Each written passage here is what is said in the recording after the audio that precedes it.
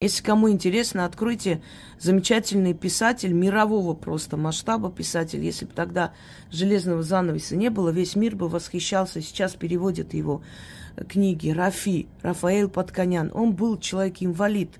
Он еле ходил. Вот, но он был настолько эрудированный, у него настолько богатый язык. Это просто редко встретишь таких, ну, золотое слово, знаете, владеет золотым словом Рафи. И его рассказ «Безумец» Хент.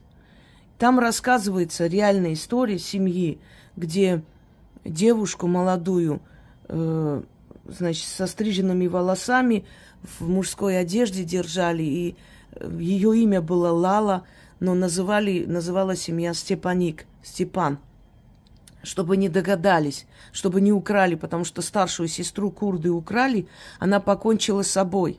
И когда местный священник отказался похоронить ее, как самоубийцу, семья приняла свои объятия, ее похоронили э, у себя во дворе. И чтобы та же участь не постигла и младшую сестру, ее одевали мужскую одежду. И все в селе многие знали, что это девочка, но делали вид, что не знают об этом, что... Ну, в конце концов, один из курдских беев догадался, понял, что это девушка, и часто ходил к ним в гости, просил, чтобы Степаник приносил, приносил ему там э, шербет, чай и так далее. Любовался ею, влюбился в нее, потом хотел украсть. Но это долгая история.